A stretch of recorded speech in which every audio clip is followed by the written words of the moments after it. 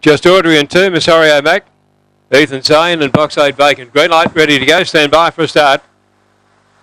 They're ready, set, racing. Positive gearing on the inside again. Okay, Slater Mebet Octo Flash. Going through on the inside there, positive gearing went through to lead, being tackled very strongly there by Alderigo. And it's uh, positive gearing leading, getting up on the inside there, Octo Flash, followed by Alderigo. And then came Miss Oreo back, very wide on the turn. Ethan Zane ran right off the track and back of the tail. Just Audrey on the inside, positive gearing.